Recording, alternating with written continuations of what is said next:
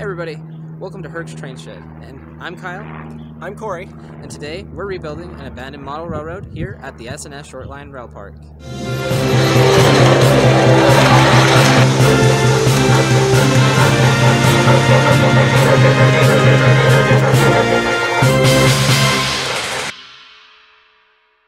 Now we're gonna follow Corey into the building, so Alrighty, let's go. And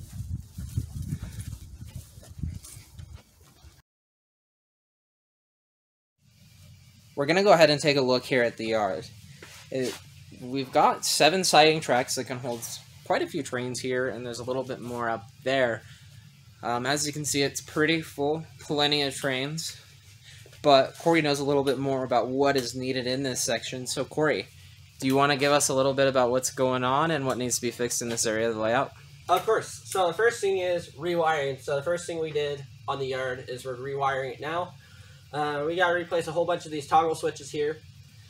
And just the main things is we got to rewire the whole it or the whole yard and clean it up a little bit, make it run a little bit better. We've also switched some things around, added some track. And my friend Aaron, who's been off camera working on this really hard, has been doing really good job at working on this for us. Um, Yeah, hasn't he been doing a lot of the wiring and getting a lot of it kind of back of the wiring. into working order? So, from my understanding, when I was here a few days ago, he had gotten most of the yard rewired. Um, sadly, we can't show that to you guys. And we got we got a few other things like over here. Um, we'll probably add a few more tracks over here just for a cooling tower and a water tower. And we just got to still rewire this whole side. We also got to replace the side skirt. And then Yeah, so there's quite a bit that needs to be done in the area. Uh, side skirt here that he just mentioned has gotten pretty faded. Um, but let's kind of move on to the next section of the layout here. Right over here is the last little area my grandfather was working on before he passed away. He was building a bit of a cityscape here.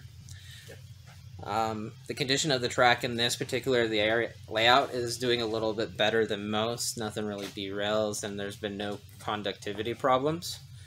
Um, in the future, we're really hoping to finish the city and kind of, you know, bring it to life like he was hoping to. This next little village is one of my favorite places on the layout. It was built by my grandfather, Corey, and I in the year 2005.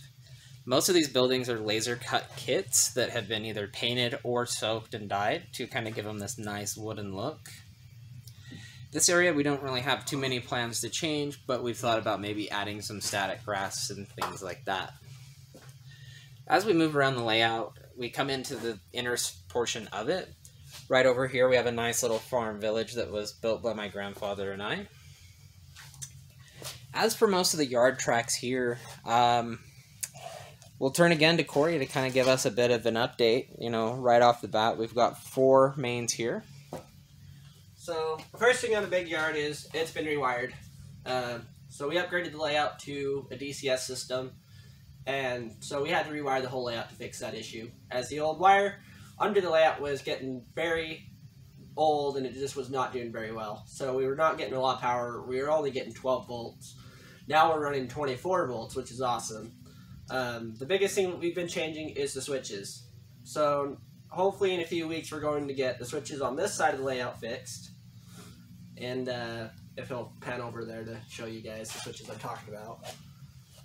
But we got to replace those switches there with some O100s. And then, other than that, that side of the yard is done. It does need some ballasting work. That's the biggest thing that we've been focusing on also is ballast work. Then another issue we've come come along is that we've had a lot of rust on the track, oxidization. And the biggest area that's had that issue is this top track here. So what we want to do, like he was saying over on the village that was built in 2005, is just a lot of this track is really, really old. Um, a lot of it has rusted away and stuff like that, and it's just not getting very good conductivity, which is really sad because this is a really good running loop up here. So as we keep moving around the layout here, as he mentioned, we have the top loop here. Um, scenic wise, it was probably the most complete. But if you look at most of the buildings here, many of them have kind of warped, faded from this window and letting the sun in through the side. So a lot of that needs to be replaced as well. there are a couple, you know, other things like the road where a leak in the roof up over here has leaked down onto the layout over time and kind of, you know, messed a couple of things up there. Um, over throughout here, we just kind of continue the farm scene. We've got some nice little cows, some tractors, tunnel running or road running into a tunnel in the background there that kind of loops around back. This is one of the more interesting sections of the layout. There is a cross right over here where the inner loop on the bottom section of the layout can cross over. There is another bridge here in the section for the middle loop and a nice large truss and girder bridge here for the final and top loop. Um, is there anything in this area that we need to really work on, Core, or is this one pretty good? So this one, the only issue I've noticed is the fences. Um, so when we redid the track for this new area that we've been working on, which we'll get to in a minute, guys, is that the engine, we had an engine hit a house and then take out the fence. Oh, whoops. So uh, we got to replace that, but that's easy to fix. Fences are easy to build, and I'll do that as an at-home video to show you guys how we built fences. Cool. Sweet. Sounds good. And then as we keep moving on, this is another section of the layout that kind of heads home for me. This part was originally built by my third grade class in elementary school back in the year 2003. The sign's kind of faded, but does it show up very well on camera? Built in 2003. December 17th of 2003.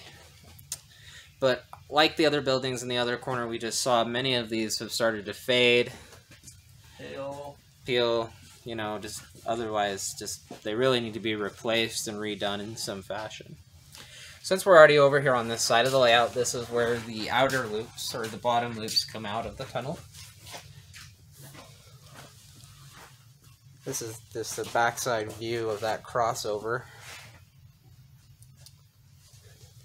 This entire side of the layout has remained, has no scenic value to it at all right now.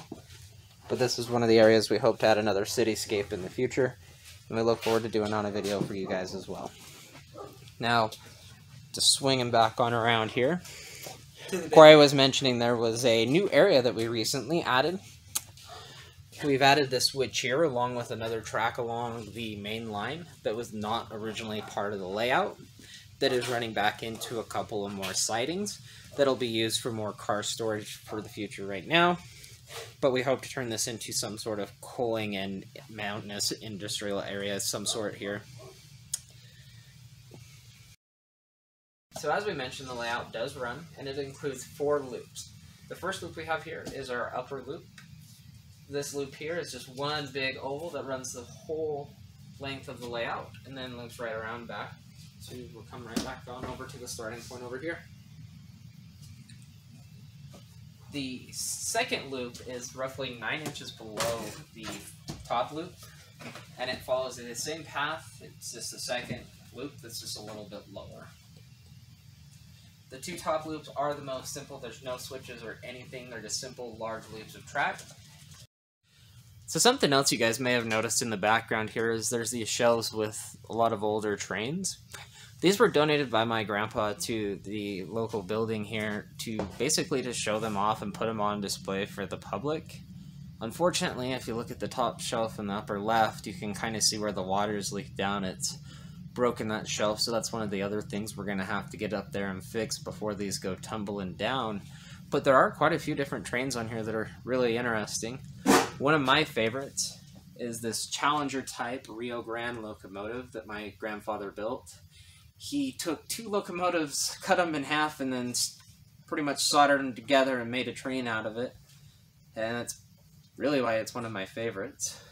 Some more notable engines is we've got the Williams 1985 first brand engine they produced. There's some Lionel O27 from the year 1947. A lot of old early Lionel up here. It's definitely one of his favorites that he collected in his lifetime.